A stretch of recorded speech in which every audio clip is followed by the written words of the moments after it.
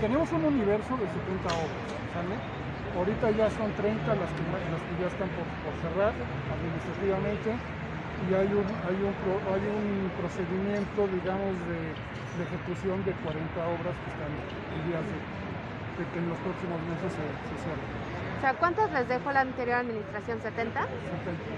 70, porque ellos habían dicho que entre 30 y 35, entonces en total fueron 70.